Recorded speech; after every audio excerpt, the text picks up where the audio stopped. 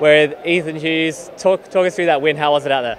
Yeah, it was great. Uh, the boys really gelled together as um, obviously Dave Mundy's 300, so you know it's a little bit extra incentive for us to you know dig in a little bit more. But we stuck to our systems that we've been through all year, and you know we got over the line in the end.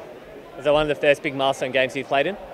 Uh, I've played in a couple, but you know 300 is a great achievement. You know you've got to be you've got to be a great player for a long time, and Dave's that. So you know we've put our heads down and we've got the result. And he was probably the player who lifted us, especially in that third term when it was really tight. Yeah, we'll struggle a little bit in the midfield, and uh, we needed a bit of a lift. And Dave was the one who come over the top and helped us get going forward. The Bulldogs really came to play, didn't they? They did definitely. It was, um, you know, it's never an easy game in the AFL. So once we got on top, we sort of we cruised on a little bit, and then you know our hard work over the summer builds up, and we've uh, put a four quarter effort in.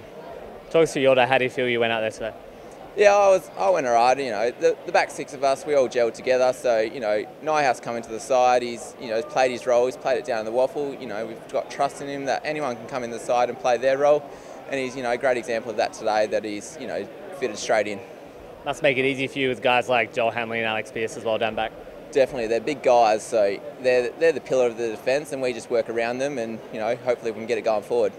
You played five games last year. That must have been a bit frustrating for you, but now you've come in, you've played every game so far this year. How does it feel to break back into that 22?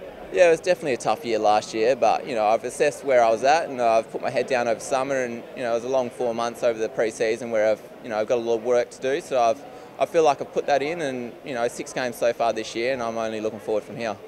Was there anything that was highlighted that you worked on, or where you feel like you've improved?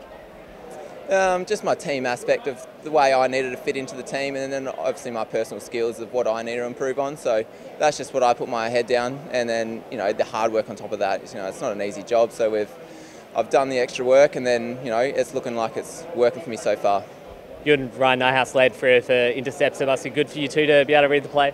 Yeah, definitely. You know, share the ball around a little bit, so it was yeah, it was definitely a good game. Uh, tough game next week against the Crows, wrapping about. Yeah, uh, I'm not sure how they went today, but um, you know we're always looking forward. So we'll get to work, we'll get to training, and we'll review this game, and then we'll move on quickly to next week. Cheers, well played. Thank you. Thank you.